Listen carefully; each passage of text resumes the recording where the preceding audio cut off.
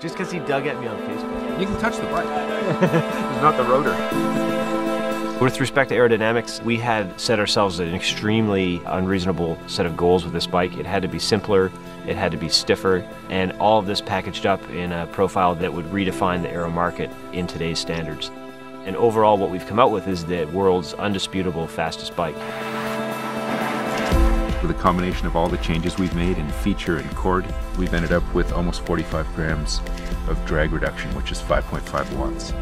We've spent a lot of time on what we call Zone 1A and 1B, which is the handlebar assembly area and the down tube wheel fork area.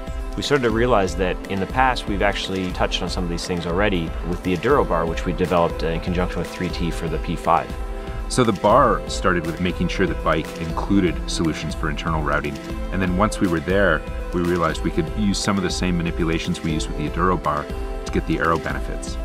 So by combining previous experience as well as knowledge of how that airflow affects the rider, we're able to get gains that no one else in the industry has been able to see. We don't build anything unless there's a reason. There's a quantifiable value to that front end of that bike.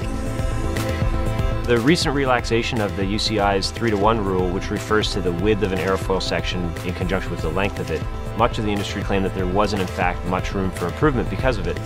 When we looked at it, we saw a bit of an opportunity there, particularly in the fork and the seat stays, because you're able to go up to 8 centimeters deep while slimming down that profile to 1 centimeter. Yeah, I mean, I think at a time in the industry when finding aero gains is getting increasingly more difficult, we are really happy with the outcome of this. I have personally placed that bike in a wind tunnel again and again at three different facilities and consistently seen results that range from greater than 6 watts faster to not less than 4 watts faster than our own previous absolutely benchmark aero road bike. And so going forward, this bike will reestablish what the benchmark is for aero road.